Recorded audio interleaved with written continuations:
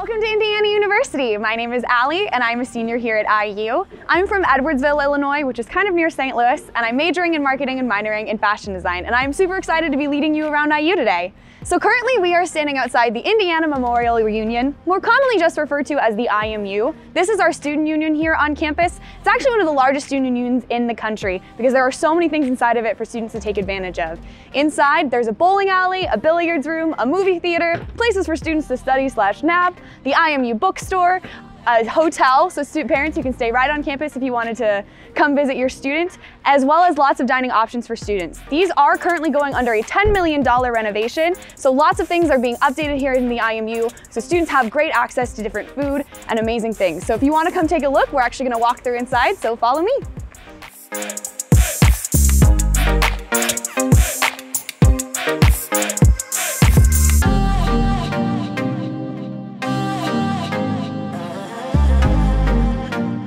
Hopefully you got to see some of those amazing things in the IMU. We had a great little walk through and now we're kind of on the other side of the building. What we're standing in front of, this big tall tower, is the Student Activities Building. So this is the office space for over 750 different student organizations here on IU's campus. Those range from a whole variety of activities, including Greek life, student government, newspapers, all the way to things like the Quidditch team and our Sweet Potato Club, which meets to talk about sweet potato recipes and make anti-yam propaganda. So you know, if you're into that, that's a club for you. Um, we have two student activity fairs that happen throughout the year, one in the fall and then one in the spring at each semester. So you'll be able to walk through um, all of the clubs here on IU's campus and find one that interests you. If you don't find an organization that is interesting to you, you can always start your own. Um, all it takes is a couple friends and a faculty advisor and you're on your way to having your own organization. I actually did help to start an organization here on IU's campus called Royal Encounters, which takes IU students dressed up as princesses and superheroes to Riley's Children's Hospital and organizations like it to hang out with the kids and have a little bit of joy with them. Also been involved in Greek life, which for me was just a great way to make IU feel a little bit smaller and get connected with some women who have the same values and interests as I do, as well as that I've been involved with Alternative Breaks Program, which is an organization that sends IU students on service learning trips inside and outside of the country um, to kind of provide service to different areas. So if there's something you're interested in that maybe doesn't completely align with your major, you can pursue that passion through a student organization, make your IU experience your own.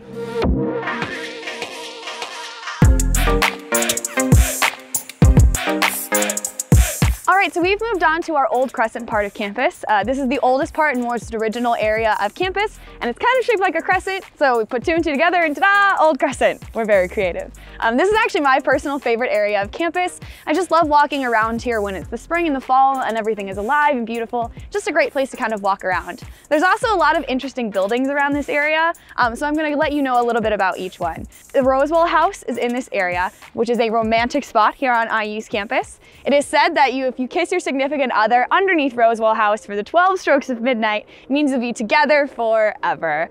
Um, I don't know if that's true or not. Um, I don't have any kind of experience with it, but it is still a very romantic spot here on IU's campus, and you'll see a lot of wedding proposals still happening there, as well as wedding ceremonies. All of the brick paths in this area um, lead down towards our sample gates, um, which is a kind of an iconic image of IU's campus. If you've ever Googled a picture of IU, or we've ever sent you any kind of promotional material ever, it's usually a picture of sample gates. It's just a really beautiful spot um, and a great place to kind of represent IU. But just beyond sample gates is the heart of Bloomington itself. Um, so IU is located in a true college town. There's amazing things to do right off campus that students have access to. One of those things is amazing food. We have a whole street dedicated to ethnic food. So if you're in the mood for Thai, Vietnamese, Turkish, Armenian, you name it, you can go to 4th Street and grab something to eat. There's awesome boutique shopping, great fun events and fairs that happen during the weekends, including our Bloomington Farmers Market, which happens in the fall on Saturdays. Super fun to go walk around um, with a couple friends, have a nice kind of Saturday afternoon adventure.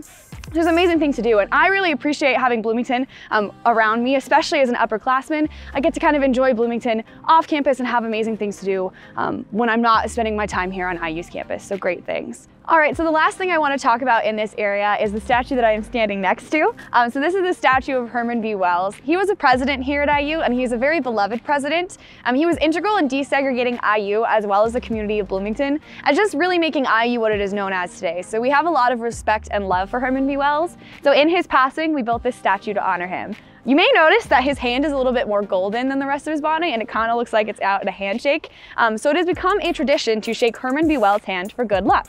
So when you're able to come to campus, parents, if you shake his hand, your student is guaranteed to graduate within the four years. And students, if you shake his hand, you're guaranteed to get an A on whatever exam you have coming up. I'll attest to this a little bit. My parents did shake his hand when we came on a campus tour. Um, and as long as everything goes smoothly this semester, I should graduate on time. And I did shake his hand before all of my freshman year finals and got A's on all of those finals. So whether that was me studying hard or Herman intervening for me, I try to get, get some good luck down here whenever I can. So thanks, Herman.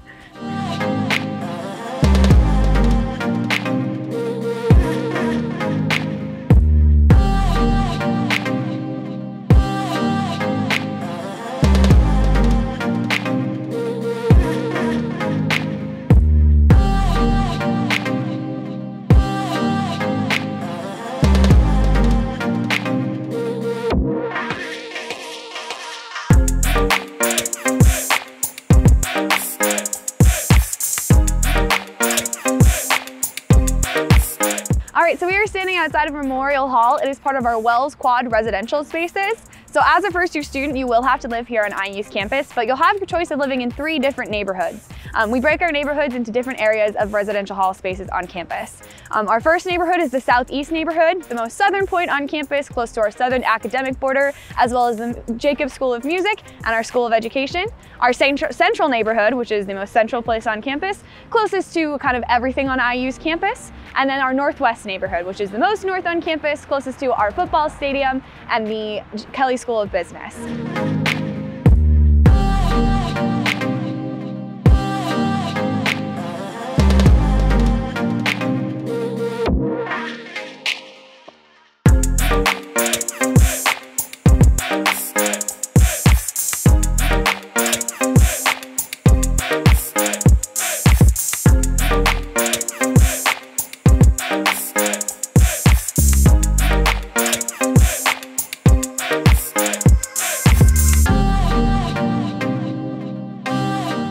So we've moved on to our Fine Arts Plaza. This is kind of the center of arts and cultures here at IU. Um, if you were to follow 7th Street, which is the street just behind me, you would begin to hit some of our cultural centers here at IU. The cultural centers are open to all students. You don't have to be a part of that culture to visit them or go to any of their events, but they're there to support diversity and inclusion here on IU's campus. They hold really, really fun events um, and different discussions, so it's a really amazing thing that we have here on IU's campus. I'm also going to just run down and tell you a little bit about the buildings around this area. Um, so the building directly behind me with the angled point and that red sculpture is our Eskenazi Art Museum. The art museum here on campus is free for all students. It's open seven days a week with the galleries being closed on Monday, but there's amazing art for students to take advantage of. It just went under a renovation, um, which made it amazing. It reopened and we're really, really happy to have our art museum back online for students here. The next building I'm gonna point out is the building with the interesting textured design on the front. This is our Eskenazi School of Art, Architecture and Design. So if you're interested in any art programs, fashion, architecture, design program, this would be kind of a home base for you. Inside are different, different buildings that have uh, student workspaces, student gallery spaces, so a lot of places to kind of support students' artworks here at IU. The next building, kind of moving along, is our IU Auditorium. Um, this is where different traveling musicals, plays, musicians, speakers will come for the students of IU as well as the community of Bloomington as a whole. Tickets are pretty affordable. They're started around $20 for students, but even if that seems like too much of a price to pay for Broadway level theater, um, you can join the IU Usher program.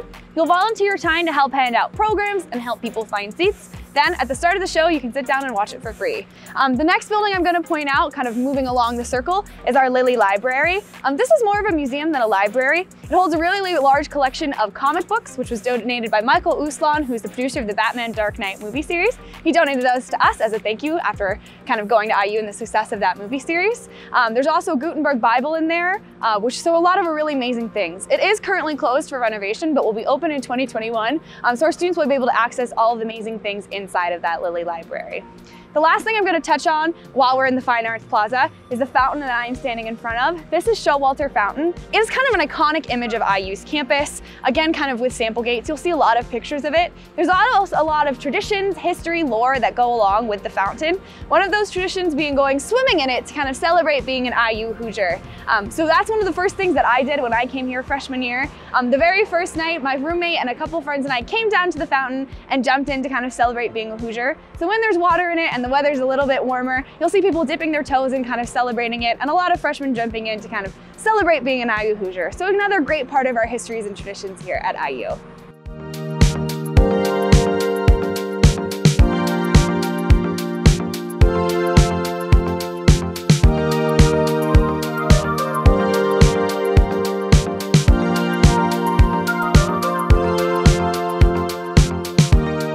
Right, so we are standing inside the Hamilton Lugar School of Global and International Studies. As being well as being home to our global and international programs, it's also home to our over 65 different language programs that you can be a part of here as a student at IU. Um, those include languages that you might be taking now, like French, German, or Spanish, all the way to things like Pashto and Zulu. Um, it's an amazing program, so if there's a language you've always tried to wanted to learn, um, you can use IU's amazing language programs here on campus. Since we're in an academic building, we're also going to take a little bit of time to talk about academics here at IU. While our class sizes average about 30 students, you'll be having classes in large lecture halls and smaller classroom sizes, but there's a lot of academic support here at IU to kind of help you through both of those things. Um, in a large lecture hall, um, a great tip is to start in the first couple rows of the classroom rather than the back couple rows of the classroom, um, so that if you have to ask a question, it's only a couple faces turning around to stare at you rather than 100 faces turning around to stare at you. Um, professors here at IU hold office hours, um, so they're there waiting in different areas around campus for students to come talk to them and get to know them and kind of help answer questions. It's a great way for you, firstly, to get to know your professor, kind of get some personalized help in those classes. They'll go over quizzes, they'll go over tests, homework, all those kinds of things that you may be struggling, help you kind of figure out where um, you're having those issues. For me, I struggled in accounting, and so going to my professor's office hours and I getting help on those homeworks and those quizzes and questions that I was having really helped me um, not struggle so much my homework and my tests, then I ended up doing really well in the class. It's also great to have that relationship with my professor after the class because when I see her on campus, I can say hello, we get to have a nice little conversation. The professor also might have opportunities for you that you didn't know of, as well as if you're needing a letter of recommendation for different study abroad opportunities or different internships, they can be that letter of rec because they've been helping you and know exactly who you are. So here on IU's campus, we do have a, many career centers to kind of help support students' academics and leading them into a career. There are 14 career centers here on campus specialized in areas to help students in specific career paths kind of tailor their education into the career that they'd like to have. So all the academics here at IU have a ton of support. There's great ways to kind of make sure your academics are leading into a successful career after college.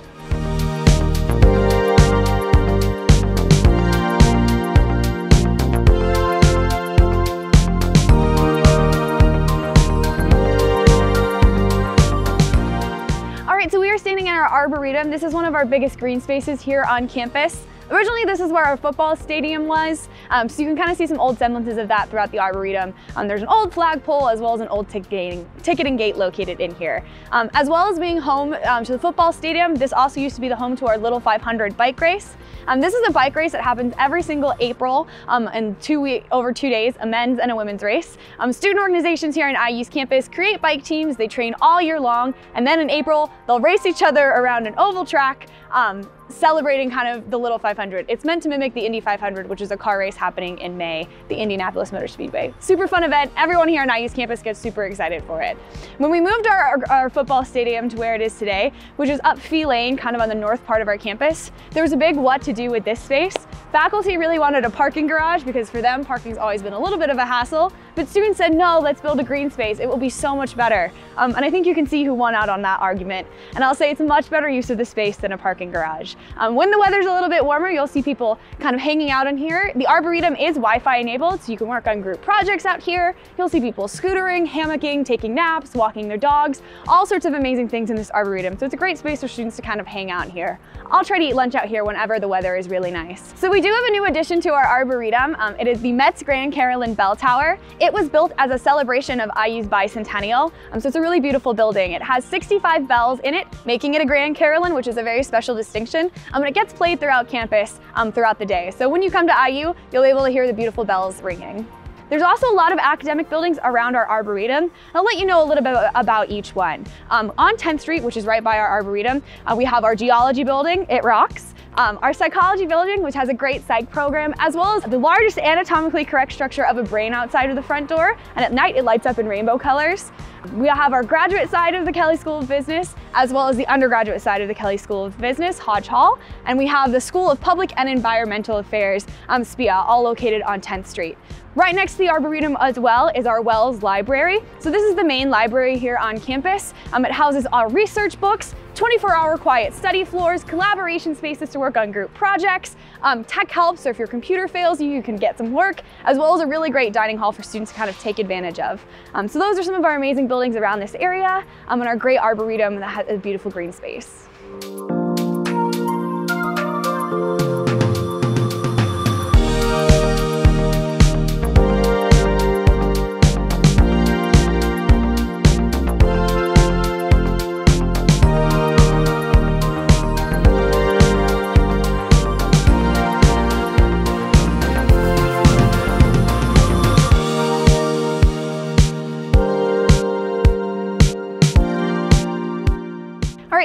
Outside of our intramural center. This is one of two fitness and intramural centers here on IU's campus. This location and our student recreational center, which is closest to our central neighborhood of dorms. Intramurals are a great way to get involved here on IU's campus, um, especially during your first year. It's a great way to have some fun with some friends, um, stay active and have a great time kind of playing games and sports. We have two levels to our intramurals, a competitive and a non-competitive level, so you can kind of pick and choose how serious you want to be about the intramurals. These have a whole variety of things, football, soccer, um, this thing called Battleship, where you and a friend sit in a canoe in our pool, and your goal is to sink other people's canoes by dumping water in them. So a whole lots of ways to have fun here on IU's campus. If you are playing a sport now in high school and you want to continue to play that at a similar level, you can join one of IU's club sports teams.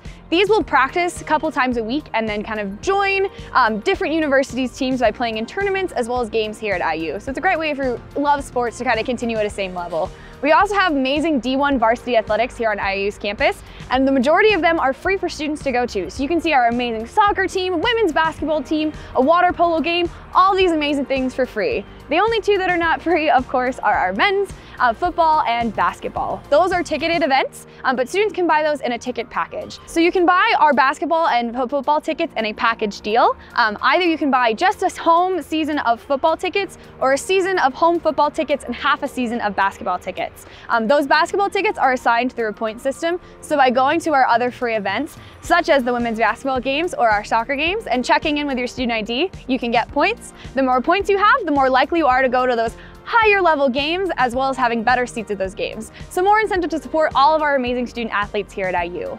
Included in your student uh, tuition, there is a student activity fee that gives you access to this intramural center, as well as different fitness centers here on IU's campus to use whenever you'd like to work out. There's also a rotating schedule of fitness classes throughout the week that let you kind of come in whenever you'd like to. These include classes like cardio, hip hop, um, cycling, all of these amazing things so you can kind of work out at your own like leisure. Um, the School of Public Health, which is attached to this intramural center, also offers really fun one credit classes that students can kind of add on to their schedule to have a little fun throughout the day. These include classes like jogging, yoga, ballroom dancing, taekwondo. Um, so you can kind of add something onto your schedule and have a little bit of fun. I'm currently in tap dancing and it's a really fun way to kind of have some exercise in the week and just have a little bit of fun as well.